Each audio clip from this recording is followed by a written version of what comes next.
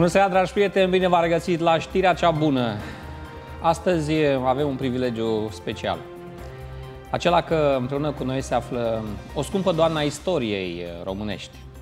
Este vorba despre doamna Georgeta Filiti, doctor în istorie, cercetător, acum pensionar, dar cercetător, cercetător la Institutul de Istorie Nicolae Iorga. Domnia sa a realizat numeroase volume de cercetare în istorie, este marele nostru privilegiu că este cu noi în platou și îi spunem bun venit. Bună seara, bine ați venit, Bună seara, profesor. bună seara. Ce faceți? Bine. Bine? Bine, cred că majoritatea românilor sunt tentați să spună, vai, sufăr, nu, nu e bine, nu, nu, nu. nu. Eu spun că e bine.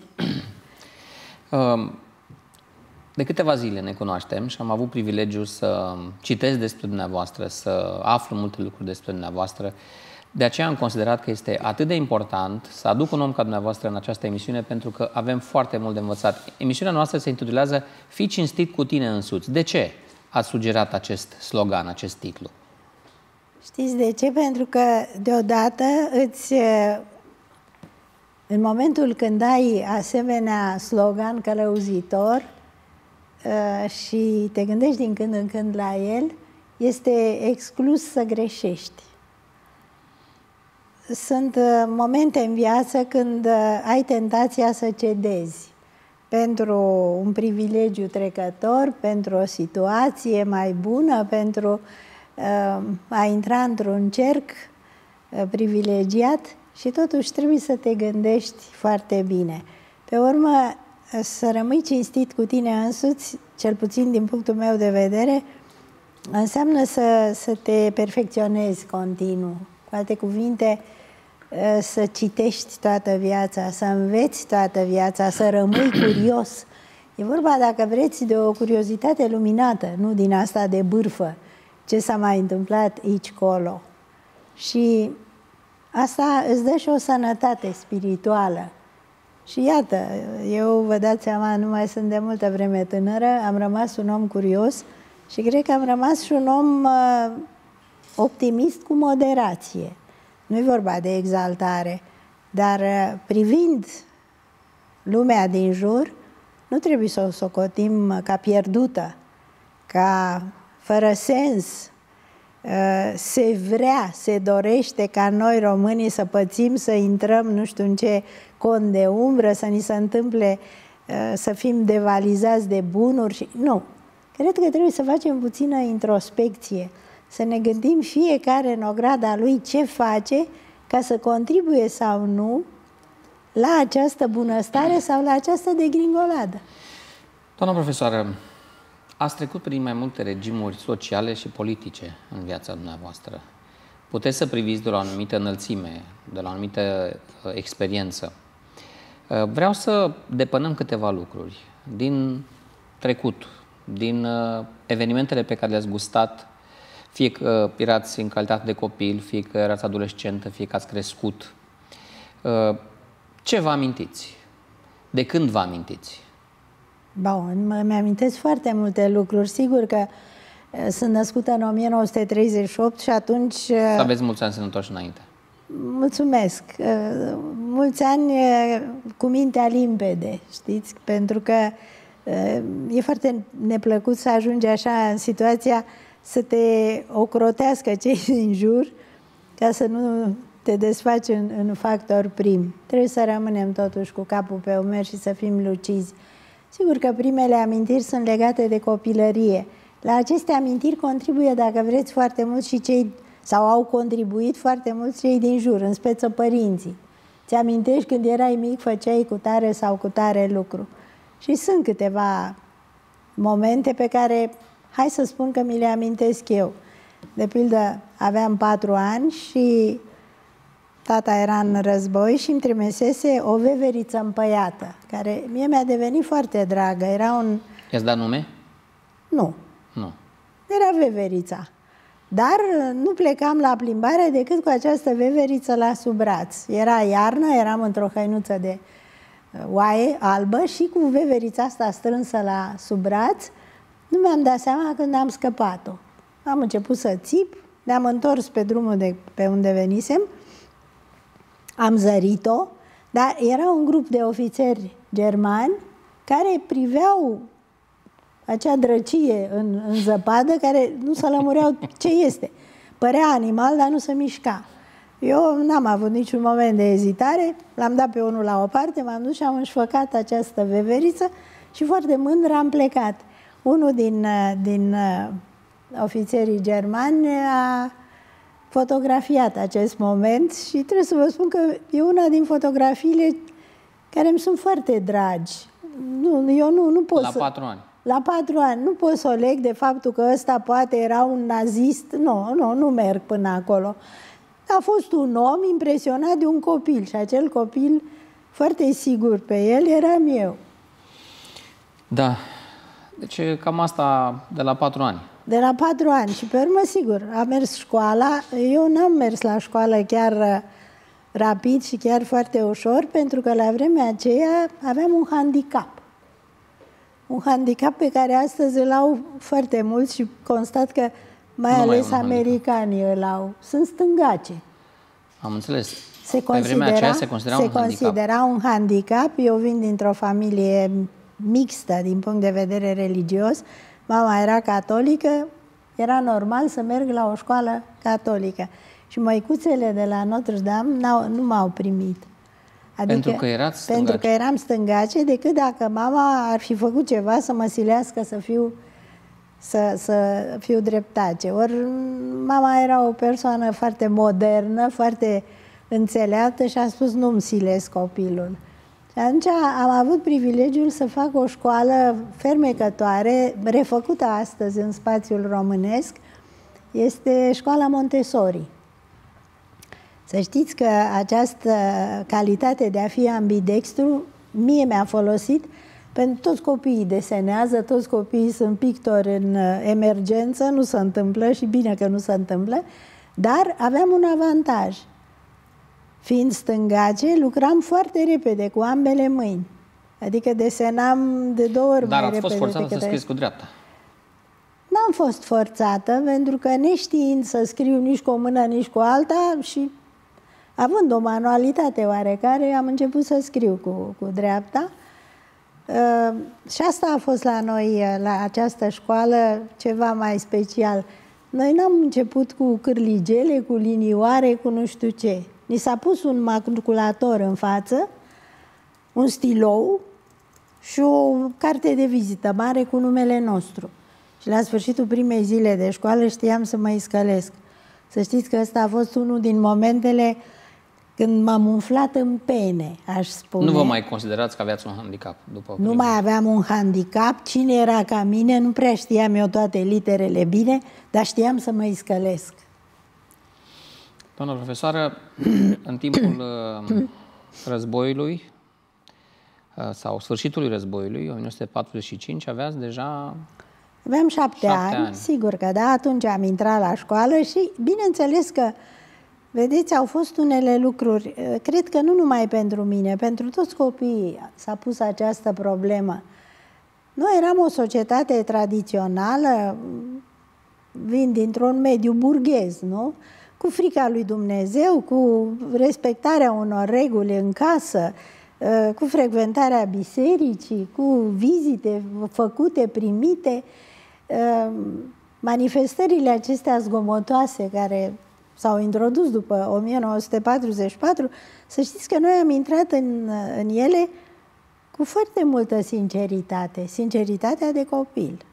Și părinții au fost suficient de prudenți ca să nu ne învețe la acea vârstă foarte mică gândirea duplicitară, gândirea dublă. Acolo vorbești ceva, acasă vorbim altceva. Nu.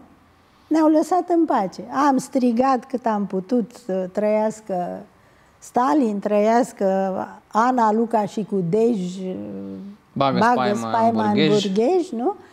Adică au fost lucruri care, într-un fel, te îndoctrinau, dar nu foarte mult.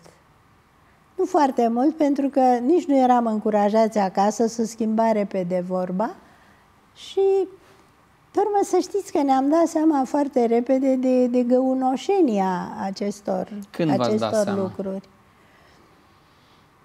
Lucruri. Sau părinții și-au dat seama și după aceea ați resimțit-o și Nu, părinții și-au dat seama, părinții uh, își dăduseră de mult seama că, că lucrurile sunt uh, absolut restrictive și în mod special mama mea care era croată și de unde era o, o străină trăitoare în România cu pașaport, în 1948 a fost obligată să opteze pentru cetățenia română și s-a mai întâmplat ceva. A devenit un potențial dușman al României pentru că noi ne-am certat cu Tito.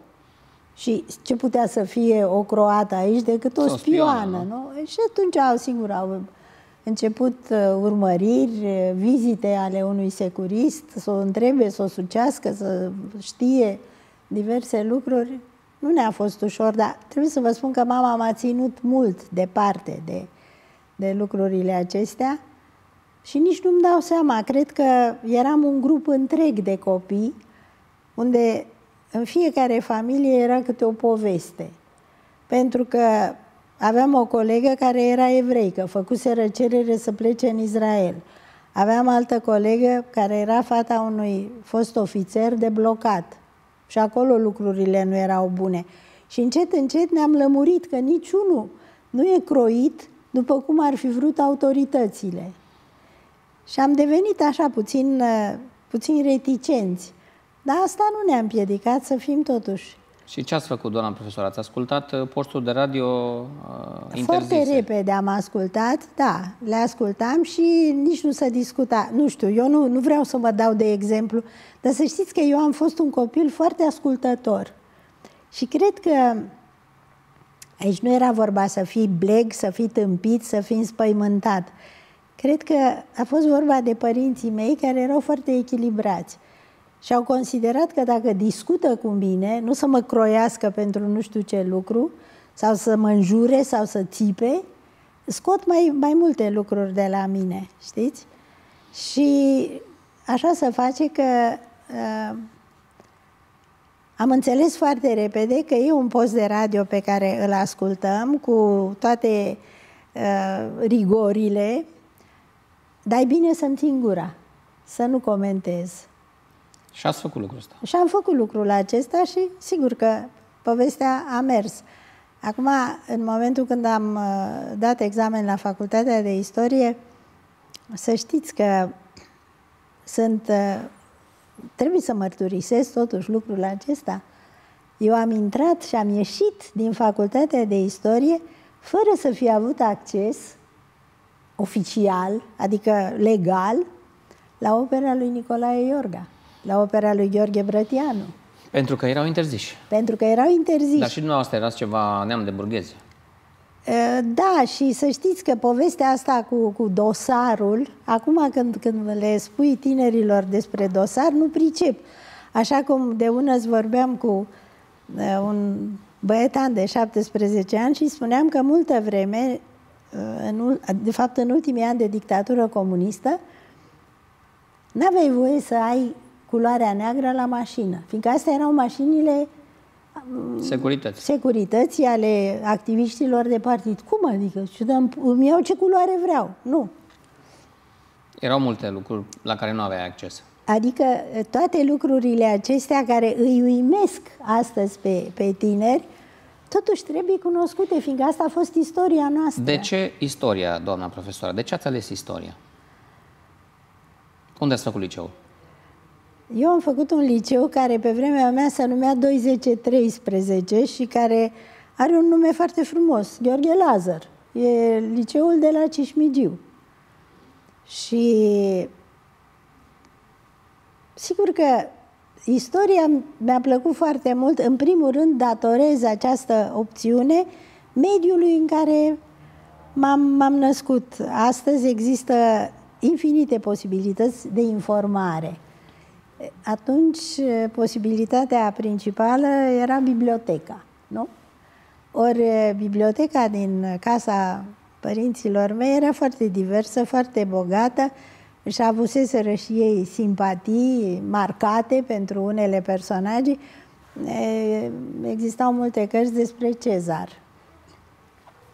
Și ăsta cred că a fost prima mea dragoste Uh, știți, la 16-17 ani visezi. visezi. Ce ați visat dumneavoastră? Eu, eu mă visam uh, pe, pe drumurile străbătute de, de Cezar. Vă visați Cleopatra? Mă visam, n-aș zice chiar Cleopatra, să știți. Nu erau niște vise, astăzi toată lumea înțelege că trebuie să fie vise erotice, te vedeai cu el în pat. Nu, nu, n-aș zice chestia asta. Mă visam peripatetizând, adică discutând. Mi se părea că mă poate lua în seamă să explic eu cum, cum poate să escaladeze Alpii. Sigur că erau și astea niște naivități, dar n-au luat niciodată o formă aberantă și mama care mm, era o fire extrem de echilibrată, așa, îmi și canaliza puțin aceste entuziasme, că îi, îi vorbeam adesea de, de admirația asta nețărmurită pe care eu purtam lui Cezar. Adică îți dai seama cât de divers uh, a fost uh, cât de divers a fost paleta preocupărilor acestui om. Bun militar, bun organizator, bun împărat, da, sigur. Știți și, foarte și bine până la urmă, a terminat. Cezar a fost uh, un... Uh, da, a fost un stimulent, un stimulent, dacă vreți, și pe urmă, sigur, eu am, m-am uh, înscris la, la facultatea asta, unde trebuie să vă spun, uh, a intervenit și un, uh, un element din familie care m-a apropiat odată în plus de istorie. Părinții mei s-au separat. Nu, nu e un moment uh, pe care l-aș dori cuiva, știți? Când, când familia se destramă, tu rămâi foarte singur, așa, ești, aș zice, puțin spânzurat undeva, ce se întâmplă cu tine. Sigur, dialogam și cu unul și cu altul, dar în spații uh, deosebite. Și asta m-a aruncat spre, spre învățătură mai mult decât poate Până la urmă, această situație va deveni un avantaj. Că A dorit. devenit un avantaj pentru că... V-ați refulat în carte. Exact. M-am, m-am apucat, mi s-a părut firesc, dar asta mi-am dat seama ulterior, că nu e de ajuns să citești cursul, trebuie să citești și bibliografia. Și știți foarte bine că studenții nu sunt chiar citesc, dispuși. Nu citesc nici cursul. Unii nu citesc nici cursul, zice, lasă, că cu trei zile înainte văd eu, iau notițele de la ăla, fac dreg. Eu am luat foarte în serios facultatea și mi-am dat seama că mă cufund într-o lume foarte interesantă. Deci în ce an ați intrat la facultate? În 56. În 56. Deja în 56 comunismul își dăduse rama pe față. Deja lucrurile căpătau dimensiuni nebănuite de dumneavoastră în anii copilăriei. Aveți dreptate și asta să știți că ne-a maturizat teribil. Am înțeles foarte repede niște lucruri, pentru că nu uitați, este anul uh, revoltei maghiare, când securitatea s-a, uh, și-a aruncat un, un ochi uh, foarte vigilent, foarte rece foarte amenințător asupra studențimii. Eu am avut câțiva colegi arestați, uh, colegi interogați uh, și pe noi ne-au întrebat uh, Dumneavoastră vă dați seama că într-o facultate, într-un an universitar, se leagă niște prietenii, niște afecțiuni, sunt, sunt grupuri, aveam, ne duceam la ceai, făceam uh, întâlniri la ăla, la ăla, cine avea o casă mai mare, cine avea o grădină, erau lucruri firești.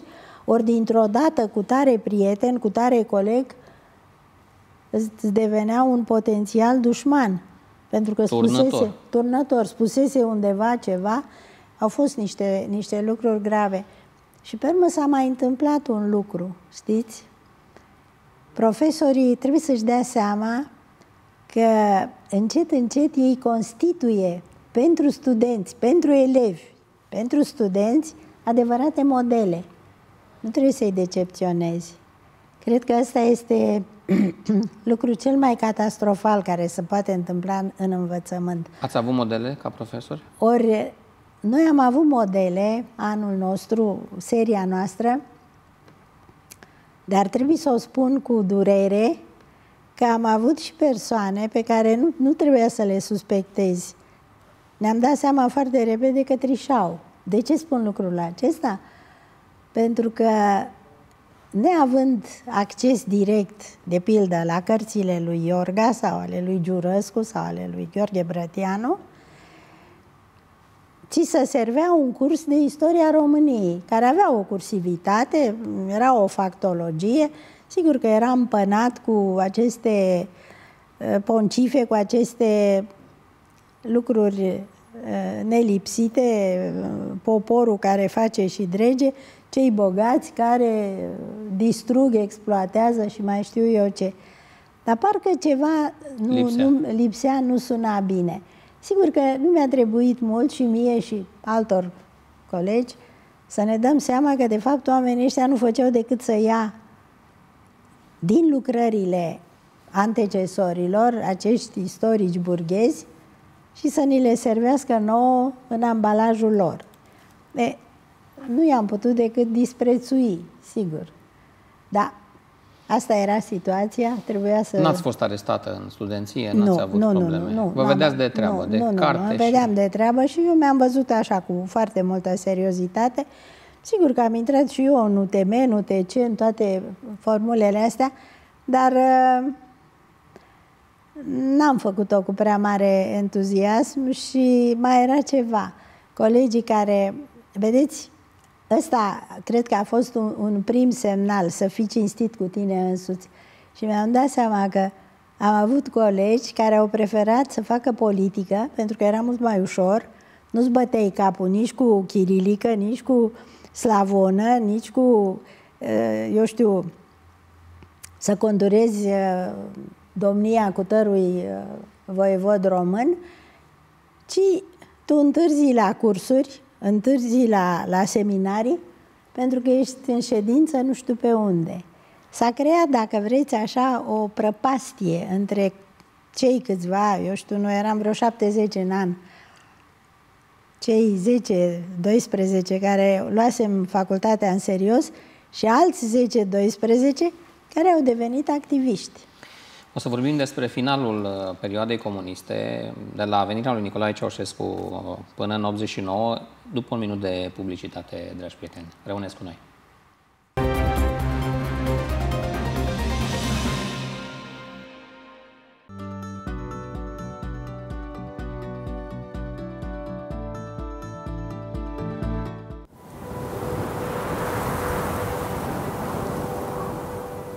E liniștea dinaintea lumii, înainte ca ziua să o ia la vale pe străzi. Înainte ca timpul să-și înceapă prăbușirea. Înainte ca asfaltul să-ți simtă pașii.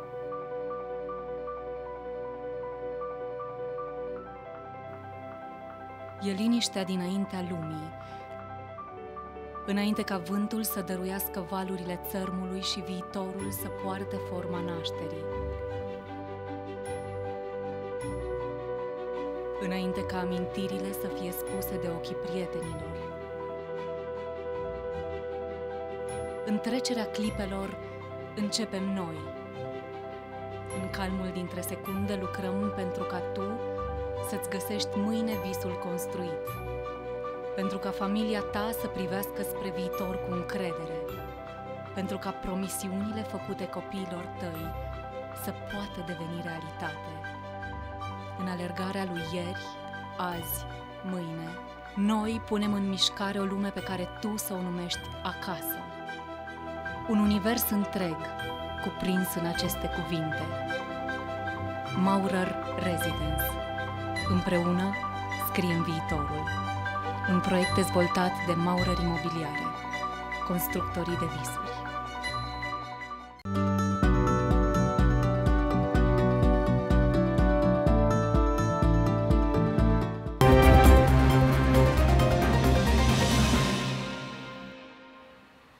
Iată-ne din nou în direct cu doamna profesoară Georgeta Filiti, doctor în istorie, cercetător la Institutul de Istorie Nicolae Iorga, momentan pensionară, dar care are foarte mult uh, pasiunea aceasta cititului și la anii aceștia. Nu trece o zi fără să nu studieze, să citească tot ce poate.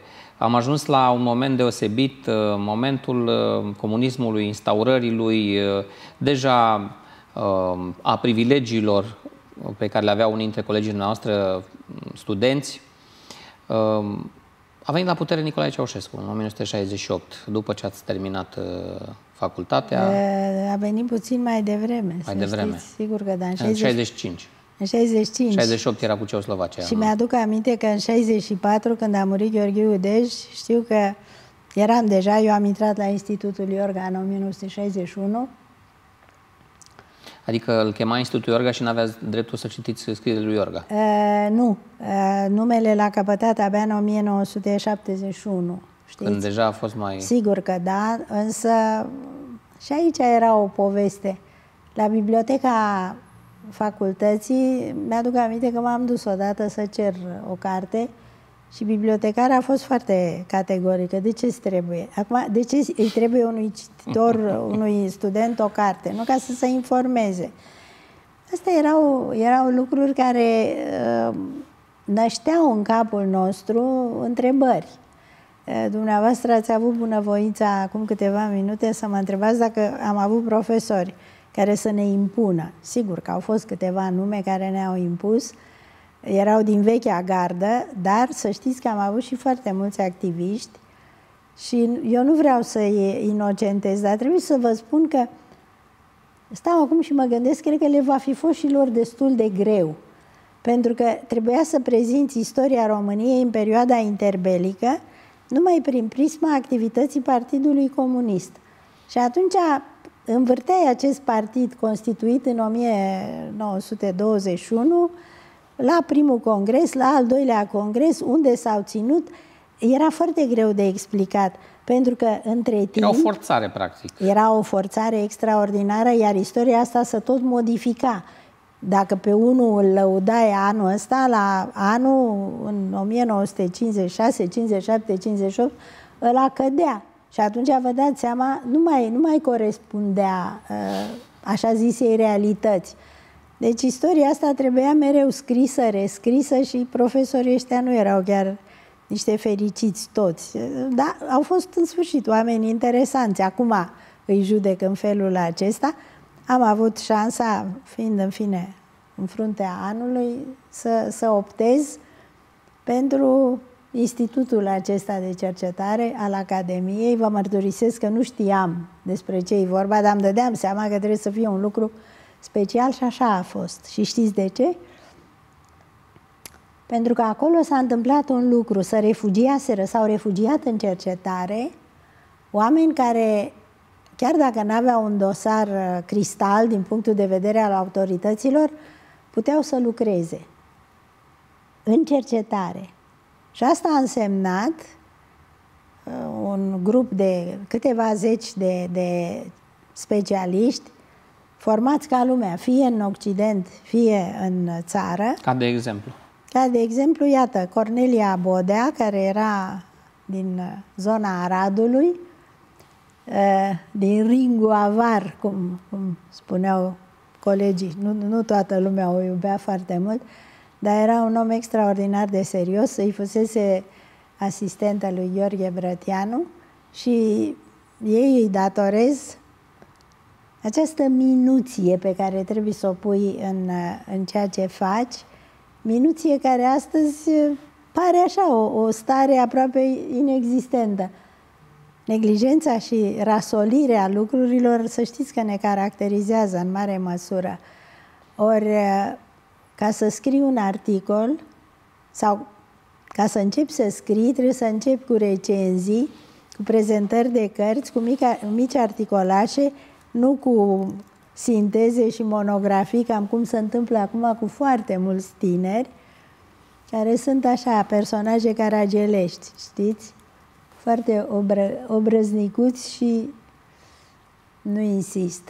Ori aici a fost o adevărată școală în acest institut, vă spuneam de Cornelia Bodea, a fost o vreme profesorul Gheorghe Zane, economist, profesorul Pepe Panaitescu, profesorul Giurăscu, profesorul Oțetea. Ăștia erau toți oameni Interziși. din vechea școală, ținuți acolo, sigur, și într-un fel era bine. E, pe urmă a venit un, uh, directorul următor din 1969, Ștefan Ștefănescu, uh, un om uh, pe care, în fine, noi, cu care noi nu ne-am purtat frumos la Revoluție și n-am avut dreptate, pentru că să știți că a iubit foarte mult institutul, a avut grijă de noi, sigur, era membru în comitetul central, făcuse facultatea în Rusia, dar rămăsese un, uh, un bun român și un om respectos pentru munca celorlalți. Și ne-a ocrotit pe foarte mulți. De ce? Pentru că, așa cum, cum vă spuneam, în, și în copilărie, dar acum la maturitate lucruri se accentuase, era această situație a fiecăruia. Fiecare avea câte o bubă. Aveai rude în străinătate, aveai un uh, bunic, un străbunic, un unchi legionar, uh, aveai pe unul închis, te căsătorei cu unul care fusese în pușcărie, povești de astea care nu se mai terminau. Ori noi la Iorga totuși am putut să lucrăm liniștiți și asta îi o datorăm. Și de ce ziceți că nu v-ați purtat frumos cu el la Revoluție? Ce ați făcut la Revoluție cu el? Păi, vedeți dumneavoastră, eu nu spun că asta e o caracteristică a românilor, dar e, să prinzi oportunitățile, asta este o chestie extraordinară.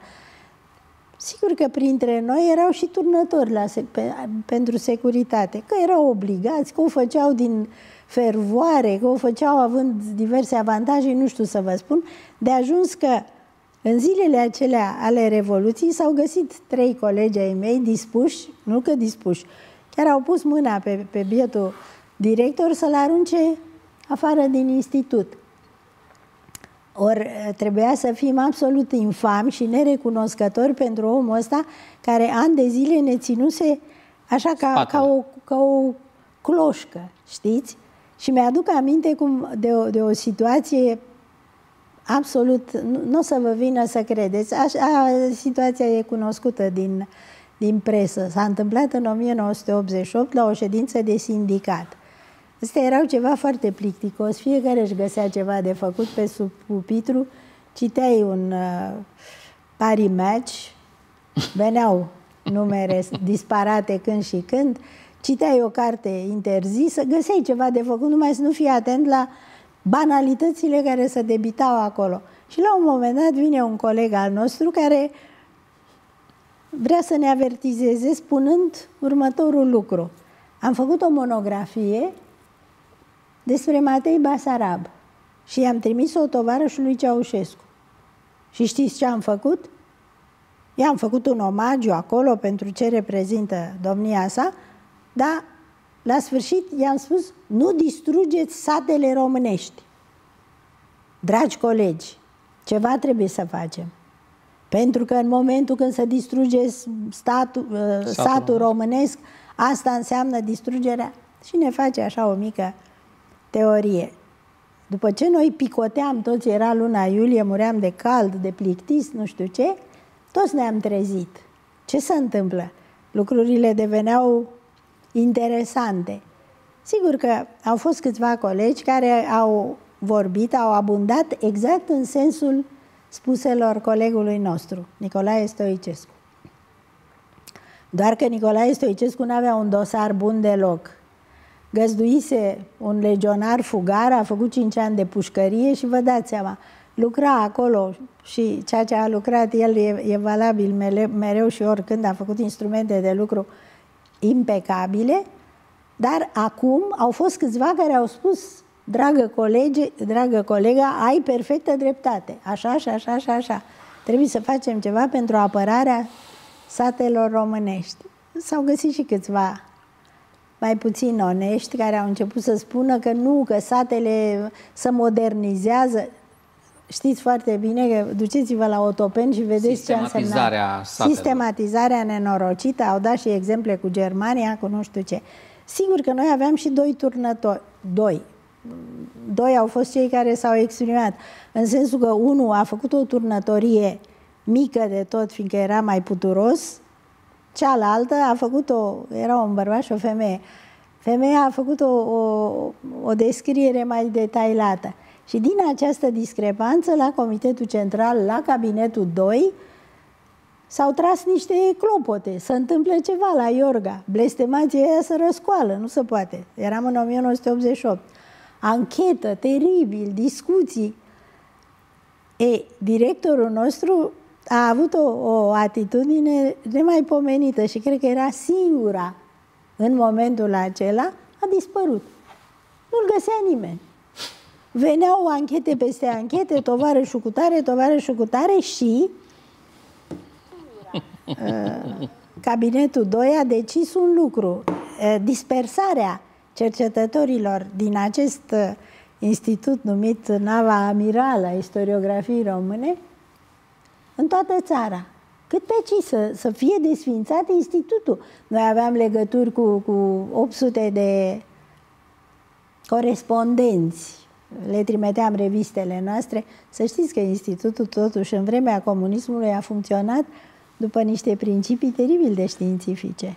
Da, oricum, eu am așa, dacă am o nostalgie pentru vremea comunismului, am pentru două lucruri, doamna profesoară.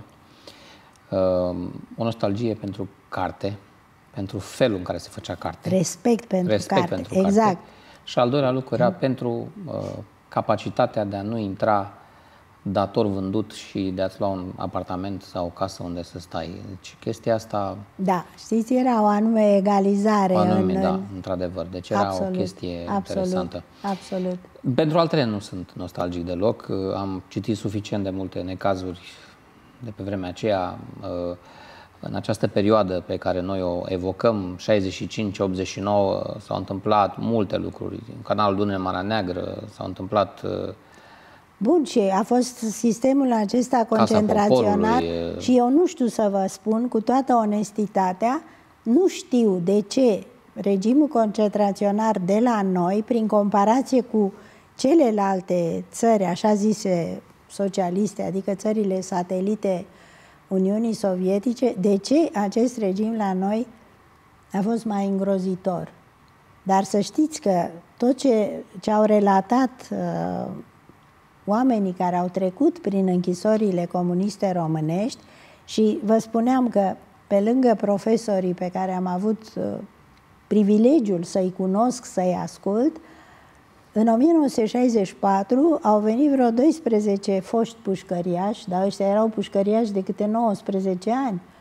Uh, erau juriști, toți. Adică nu, nu era vorba de, de, uh, de oameni fără pregătire intelectuală, făcuseră, era vorba și de câțiva legionari, evident, ăștia au, au făcut pușcăria cea mai cumplită, ei bine, oamenii ăștia au venit la institut constituind un, un colectiv de vechi drept românesc. Dincolo de opțiunile lor politice pe care nici nu le discutau, nici nu, nu aveau, erau extraordinar de rezervați, dar oamenii ăștia erau adevărate enciclopedii. Adică atunci s-au făcut ediții critice care astăzi nu se mai fac, de vechi cronici românești, vechi legiuiri. E vorba de Codul Calimachi, e vorba de legiuirea Caragea, e vorba de sute, mii de documente juridice care s-au publicat atunci și fără de, de uh, notele lor subsidiare, n-am fi avut aceste ediții critice care sunt de valoare europeană. Doamna profesoară, simțeați că va cădea regimul acesta ceaușist? Sau erați prea... Să știți că eram resemnați. În cărți. Și nu eram foarte resemnați și mie îmi vine să râd acum că eu am rude, unii din ei trăiesc acum la Paris și ne fac nouă celor care am rămas în țară, ne fac o vină pentru că ne-am calificat într-o meserie oarecare, prin urmare, ipso facto, am pactizat cu comuniștii. Ce s-a întâmplat în 1989 din perspectiva dumneavoastră? Sigur, n-aș zice că a fost o revoluție. Eu cred că a fost mai mult o, o lovitură de stat, orchestrată de securitate și lucru s-a cam văzut. Pentru că Cine avea arme la vremea aceea?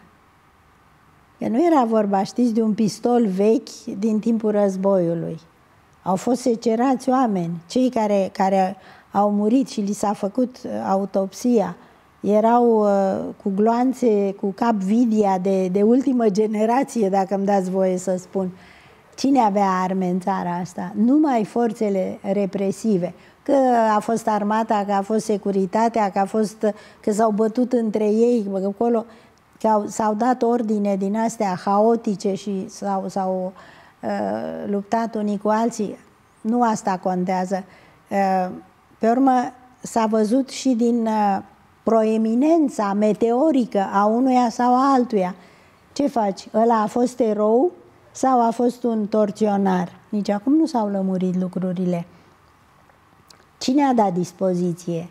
Uh, dumneavoastră vedeți că uh, sunt aproape 30 de ani de la, de la evenimente și încă nu s-au elucidat. Au trebuit să vină factori din afară și să ne atragă atenția.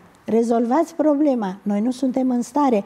Aici nu e, nu e vorba ca, un, ca de un proces din secolul XIX pentru cutare moșie și să luptă, să luptă 30, 40, 60 de ani. Pot să vă dau exemplu de, de procese care s-au întins pe 60 de ani. Aici a fost vorba de oameni care au murit și n-a murit cineva într-un accident. Au murit sute de oameni. Cum e cu putință să nu se ajungă undeva? Nu că s-a prescris, nu că n-a fost așa. Fiecare să spală pe mâini. Să știți că asta rămâne o pată rușinoasă în istoria noastră. Această nelimpezire a ceea ce s-a întâmplat în 1989. Vă spusesem la un interviu de odinioară de un domn pe care îl apreciez foarte mult din, din cărțile domniei sale, domnul Florin Constantin Pavlovici, are două cărți pe care eu le știu. Una se numește Tortura pe înțelesul tuturor și una se numește Frica și pânda. Când citesc în cărțile acelea, mi se ridică părul în cap, doamna profesoară, și uh, de curiozitate, când dau de un personaj pe care domnul Pavlovici îl amintește, intru pe internet să văd cine a fost uh, respectivul. Imaginați-vă că dintre torționari încă unii mai trăiesc. Nu numai că mai trăiesc, dar știți că au pensii au... cam de trei ori cât un cercetător. S-a revoltat uh, opinia publică cu privire la domnul Vișinescu, unul dintre ei, dar sunt mulți, sunt zeci, dacă nu sute încă, care au pe mâini sânge de oameni nevinovați, care au construit Casa Poporului, care au fost la canal, uh, îi pierdem încet, încet. Sperăm că odată cu moartea lor să se închidă și gura lor, dar istoria nu va rămâne așa. Ce credeți că este de făcut în aceste condiții? Vedeți, una din caracteristicile noastre, îmi pare rău să o spun, este aceea că avem, toți avem soluții. Toți criticăm și toți avem soluții, doar că nu avem și posibilitatea să le materializăm. Însă trebuie să fim puțin realiști și dați-mi voie ca istoric să vă spun un lucru. Uh, sunt destule momente în istoria noastră care continuă să nu fie elucidate. Și nu mă refer numai la istorie în care uh, sunt implicați comuniștii sau caghebiștii care au venit aici, care i-au școlit, care... Nu, E un uh, eveniment din, uh, din timpul domniei lui Alexandru Ioan Cuza. Are la un moment dat un prim-ministru care se cheamă Barbu Catargiu și care a fost asasinat, ieșind din Parlament. Nu se știe nici astăzi cine l-a asasinat. Și sigur, s-au făcut conjecturi, să discută la nesfârșit, actele au dispărut. Procurorul a fost schimbat, unul a venit și a spus, dacă nu închideți ancheta, spun eu niște lucruri care nu o să vă convină. Mușamalizare. În... Și s-a mușamalizat. Iată și aici există această tendință, dar, așa cum vă spuneam, trebuie să fii cinstit cu, cu tine însuți. Și tu, factor de decizie, în momentul de față, în spațiul românesc, ai datoria morală să limpezești lucrurile acestea. Și, vedeți, e în firea omului să nu-i placă lucrurile horror. Dumneavoastră l-ați evocat pe domnul Pavlovici. Uh, au fost nenumărați alți oameni. Literatura concentraționară este îngrozitoare. Nu știu câți tineri astăzi sunt dispuși să deschidă o carte, lăsând teoria că nu mai citește nimeni. Totuși, oamenii se informează în, se informează în altă formă, dar află niște lucruri. Mai vor să știe lucrurile acestea? Cred că să feresc de ele, dar ele să știți că ne vor urmări ca un blestem pentru această ne- neelucidare, această lipsă de lustrație, această lipsă de, de limpezire a ceea ce a fost atunci. Și câtă vreme nu știm, eu sunt tentată să o socot o lovitură de stat a securității. Doamna profesoară, timpul nostru este foarte limitat. Mai avem un minut din emisiune. Oricum, este o primă emisiune cu dumneavoastră. Mai avem privilegiul să mai facem. Sunteți drăguți. Uh, știu că pasiunea dumneavoastră cea mai mare rămâne Mihail Cogălnicianu. Rămâne... Aveți dreptate. Sunt uh, 200 de ani anul acesta de la nașterea lui. I-am scos 9 volume din ora- de oratorie, sunt peste 6.000 de pagini. Despre lucrul acesta mai cu deamănuntul și despre clasa politică de atunci și clasa politică de astăzi o să vorbim într-o emisiune viitoare. Sunt două lucruri total, de- Total diferite. diferite. Dar uh, în această seară vreau să vă gândiți că la camera aceea se uită niște tineri care vă apreciază. Avem foarte multe felicitări pe rețelele noastre de socializare. Și vă rog să le adresați un gând cu privire la cinste, cu privire la subiectul nostru în această seară. Vedeți, să rămână ei înșiși, să se gândească la ce fac în viață și e un lucru la care trebuie, e foarte greu să reziste, pentru că e, o ad- e un adevărat bombardament mediatic în momentul de față. Distrați-vă, distrați-vă, distrați-vă. Să știți că nu numai distracția poate să te bucure, și o cercetare profundă într-un domeniu și satisfacția extraordinară că ești un bun inginer, un bun avocat, un bun profesor, orice faci, să faci cu răspundere și să faci bine, să fii ambițios. Ambiția e o calitate fantastică pe care trebuie să-și o cultive. Nu lasă că merge și așa. Nu merge și așa. Eu trebuie să fac un lucru perfect. Asta să-i călăuzească în viață. Vă mulțumesc foarte mult, doamna profesor. În timp ce vorbeați, mi-am adus aminte de un verset din Scriptură care spune tot ce găsește mâna ta să facă, fă cu toată puterea ta. Iată. Același gând exprimat în alte cuvinte a fost împreună cu noi, doamnelor și domnilor, doamna Georgeta Filiti, doctor în istorie, cercetător la Institutul de Istorie Nicolae Iorga, acum pensionară. Mulțumim foarte mult pentru prezență, multă sănătate și mult succes în activitatea noastră. Mulțumesc. Mulțumesc. Sunt Cornel Drăvășan, vă dau întâlnire mâine seara, la revedere.